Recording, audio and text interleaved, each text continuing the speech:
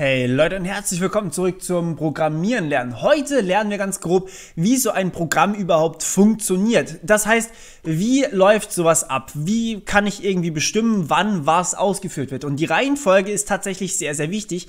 Der ganze Code wird nicht irgendwie gleichzeitig oder sowas ausgeführt, sondern es gibt Zeilen. Wenn ihr jetzt hier mal an der Seite guckt, ich habe jetzt ein paar Enter reingehauen, dann sehen wir hier Zeilennummern an der Seite. Die werden euch nicht immer angezeigt, aber ich würde euch empfehlen, sie wirklich immer einzublenden. Also bei manchen Editoren müsste ich hier noch irgendwas einstellen, dass die Dinge auch wirklich angezeigt werden.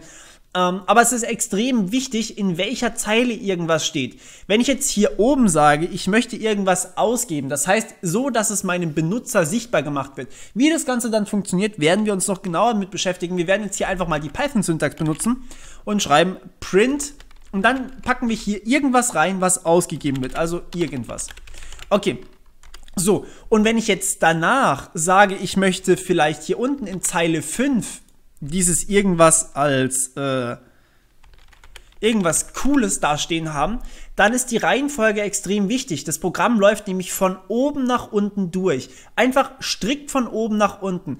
Print irgendwas, print Cooles. Das heißt, zuerst kommt irgendwas und dann kommt Cooles. Achtung, da ist jetzt auch kein Leerzeichen zwischendrin.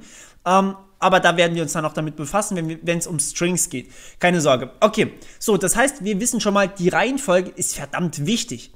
Und jetzt müssen wir sagen, okay, wenn ich jetzt das Ganze umdrehe und zum Beispiel dieses irgendwas hier unten reinpacke, dann steht hier cooles irgendwas. Was die Bedeutung schon so ein bisschen kaputt macht für unseren User und der weiß vielleicht nicht mehr, was wir meinen. Also je nachdem, was wir da so gerade machen wollten oder ihm sagen wollten. Das heißt, es macht schon einen deutlichen Unterschied, wie irgendwas aufgerufen wird. So, Jetzt gibt es noch das Konzept der Variablen und da wird die Reihenfolge nochmal wichtiger.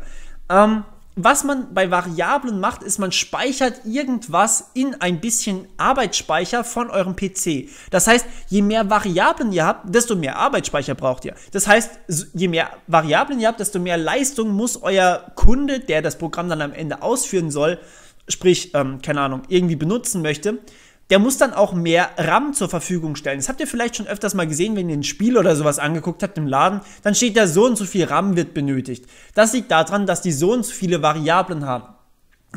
Wie viel RAM dann tatsächlich benötigt wird pro Variable, das kann ich euch dann bei den einzelnen Typen sagen. Aber es gibt verschiedene Typen von Variablen, also primitive Variablen und ähm, die haben alle unterschiedlichen Speicherverbrauch. Wenn ihr irgendwie effizient programmieren wollt, dann solltet ihr immer darauf achten, dass ihr möglichst kleine Typen, also so klein wie möglich, verwendet, aber so groß wie halt nötig. Warum werden wir uns auch noch angucken.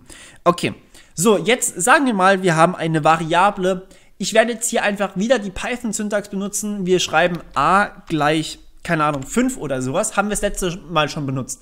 Dann erstellen wir uns hiermit eine neue Variable namens a, also mit dem Namen a und setzen den Wert auf 5. Wir können auch einfach, wenn wir jetzt schauen, wie das Ganze ähm, in Java aussieht, in Java sieht das Ganze so aus, also nicht wundern. Ähm, hin und wieder mal muss man vorne dran schreiben, was für ein Typ diese Variable hat. Und das werden wir auch im Folgenden immer benutzen, ähm, warum wir die Schreibweise benutzen werden, ist einfach, dass wir sehen können, was wir gerade für einen Typen handhaben. Um Typen geht es aber in den nächsten paar Videos, da erkläre ich euch die einzelnen Typen von diesen Variablen. Jetzt schreiben wir einfach nur mal int vorne dran. Also wir schreiben den Typ der Variable vorne dran.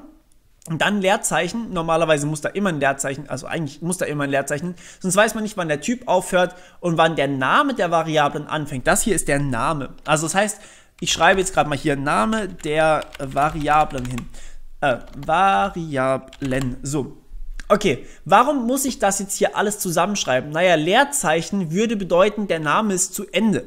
Und wenn der Name zu Ende ist, dann muss ein ist gleich kommen. Wenn ich jetzt hier also irgendwo ein Leerzeichen reinpacken würde, zum Beispiel so, dann würde mein Compiler, also der, der das Programm dann am Ende umwandelt, sodass es die Maschine auch versteht, ähm, würde denken, okay, hier ist der Name zu Ende, das heißt, danach muss der Wert kommen. Ja, aber hier ist kein ist gleich. Naja, das ist ein bisschen doof. Also muss man den Namen immer als ein einziges, äh, ohne Leerzeichen getrenntes Dingens schreiben hier. Danach kommt ein ist gleich und danach kommt der Wert. Hier kann eine 5 stehen, hier kann aber auch zum Beispiel ein Buchstabe stehen, sowas. Äh, ups. Äh, hier kann auch irgendwie mehrere Buchstaben stehen. Das kommt immer auf die, auf die Variable drauf an. Wie das Ganze nachher aussieht, werden wir uns noch genau angucken. So, ähm, und in Java am Ende ein Semikolon braucht man aber nicht immer. Wie gesagt, das hier vorne braucht man auch nicht immer. Manchmal steht hier auch einfach nur wahr oder sowas. Aber wir werden jetzt in, in Zukunft immer diese Schreibweise mit dem Typen verwenden. Okay, so, jetzt, was zur Hölle äh, bedeutet das jetzt hier? Ich nehme mir ein bisschen Speicherplatz, nämlich ähm, so viel Speicher, wie dieser int-Datentyp verbraucht. Und da rein schreibe ich mir jetzt ein bisschen Information. Und zwar nenne ich die einfach für mich sozusagen, also nur in meinem Code. Das heißt nicht in eurem Speichername der Variablen, sondern nur für euch in eurem Code Name der Variablen. Also hier, dieses Ding hier. Ich werde es jetzt wieder A nennen. A ist jetzt der Name von unserer Variablen und dem weise ich jetzt diese Information 6 zu. Oder 5 oder 128 oder keine Ahnung was. Und diese Information hier, diese 5, die steht jetzt hier in A drin. Ich kann das Ganze auch so machen, ich lasse das hier weg und dann sage ich unten drunter, ich möchte jetzt, also das hier ist einfach nur, ich weise meinen Speicher zu und nenne diesen Speicherplatz A. Und jetzt gehe ich her und sage, in diesem Speicherplatz A möchte ich jetzt die Information reinschreiben, dass da 5 drin steht. Sowas in die Richtung zum Beispiel. Gut. Und das ist im Prinzip dasselbe, als würde ich jetzt hier oben direkt schreiben, A gleich 5. Das ist dasselbe. Jetzt kann ich diesen Speicherplatz hier referenzieren, nennt man das Ganze. Das heißt, ich kann immer wieder drauf zugreifen. Und ähm, ja, ich kann sozusagen sagen, okay, ich möchte jetzt auf meinen Speicherplatz mit der Information 5, die möchte ich jetzt einfach benutzen. Denkt an Mathe, da habt ihr auch x und y und ihr könnt da Variablen, also es sind im Prinzip Variablen, die sich verändern können. Variabel bedeutet ja schon veränderbar. Das heißt, ich kann hier was anderes reinschreiben. Also zum Beispiel, ähm, ich kann jetzt hier reinschreiben, a gleich 10. Und dann ist mein A in diesem Code hier unten drunter 10. Aber in diesem Teil von meinem Code ist es 5. Also bis einschließlich hier ist es 5. Und hier überschreibe ich diesen Wert dann und schreibe 10 rein. So, das mag jetzt ein bisschen komisch sein. Warum sollte ich hier oben was anderes drin stehen haben wollen als unten drunter? Naja, vielleicht möchte ich ja oben mit irgendwas anderem rechnen und unten möchte ich dann mein Ergebnis da reinschreiben. Das heißt, ich berechne hier irgendwie ein Ergebnis. Ähm, was das bedeutet, werden wir auch noch klären. Und dieses Ergebnis möchte ich, möchte ich jetzt in A reinschreiben. Das macht dann natürlich viel mehr Sinn, als wenn ich jetzt hier einfach feste Werte reinschreiben würde. Aber ich kann natürlich hier oben auch irgendwie was ausgeben wollen und kann dann nachher sagen, okay, jetzt möchte ich was anderes ausgeben oder sowas. Gut, also das ist so das Grundkonzept von Variablen. Und ihr seht, jetzt macht es natürlich nochmal viel mehr Sinn, wenn man hier diesen Programmfluss von oben nach unten hat.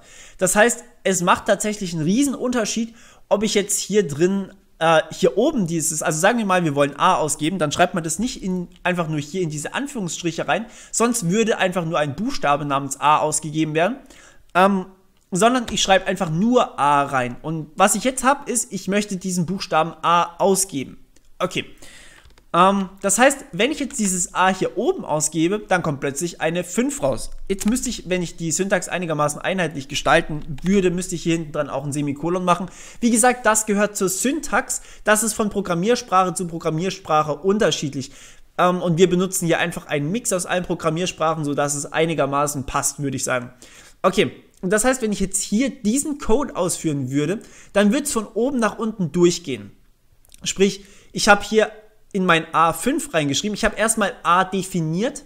Das ist das hier, also int A. Ich habe gesagt, es gibt einen Speicher, äh, ich hätte gern Speicher mit dem Typ int und den nenne ich A. Und da schreibe ich 5 rein. Das ist die, äh, dieser Teil hier hinten dran. Das sind eigentlich zwei Anweisungen in einem, wenn man so möchte. Okay, und dann gebe ich das aus. Da kommt logischerweise dann 5 ausgegeben.